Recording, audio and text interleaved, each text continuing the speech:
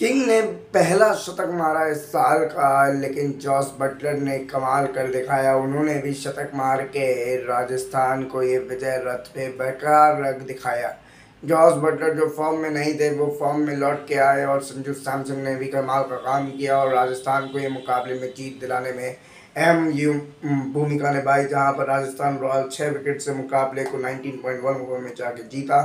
पहले टॉस जीता था और गेंदबाजी करने का फैसला किया, बेंगलुरु के बल्लेबाजों ने पहले बल्लेबाजी करते हुए 183 तक पहुँचते नज़र आए और गेंदबाजी करने का फैसला के समय में ये बात बोला था। ये बात बोला था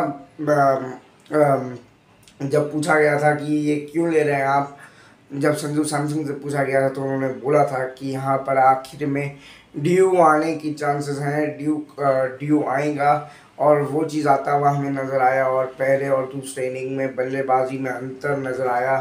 जब बल्ले बल्ले पर गेंद बहुत अच्छी तरीके से आने लग गई थी तो उसका भी एक कारण नज़र आया जिसके बदौलत ये राजस्थान की बल्लेबाजी एक सॉलिड धमाकेदार पारी देखने मिली, जहाँ पर आपको पता है, विराट कोहली इतनी देर से सेट होने के बावजूद 156 का स्ट्राइक रेट नज़र आया। 72 बॉल में 113 बनाया तो वहीं पर 58 बॉल में शतक जड़ते नज़र आए जॉस बटलर। लेकिन एक बात ये भी तो था कि स्पिनर्स का जो जो जो रॉयल चैलेंजर्स बेंगलुरु के पास जो टाइप के स्पिनर्स है और जो राजस्थान के पास स्पिनर थे, वो मैन टू मैन मार्किंग किया जाए तो वहाँ पर भी आपको गहरा अंतर नज़र आएगा, लेकिन ये भी तो बात मानने वाली होगी कि रॉयल चैलेंजर्स बेंगलोर का बल्लेबाजी इज़ अ स्ट्रॉन्ग पॉइंट है और वहाँ पर इनको ज़्यादा अच्छा करना होगा।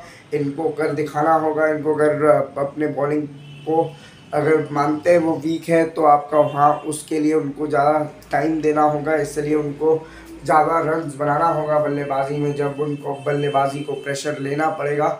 और वो काम, वो एक जन के बदौलत हो नहीं सकता। सिर्फ़ विराट कोहली के चलने से ये टीम अच्छा नहीं कर सकती बतौर टीम क्योंकि यहाँ पर अगर आप देखा जाए तो फार्म डुप्लेसिस ने ज़रूर 44 बनाया, लेकिन उनका तो स्ट्राइक रेट और कम नज़र आया। थर्टी थ्री बॉल्स में 44 बनाया और बाकी कोई और बल्लेबाज का बल्ला ही नहीं चल पाया।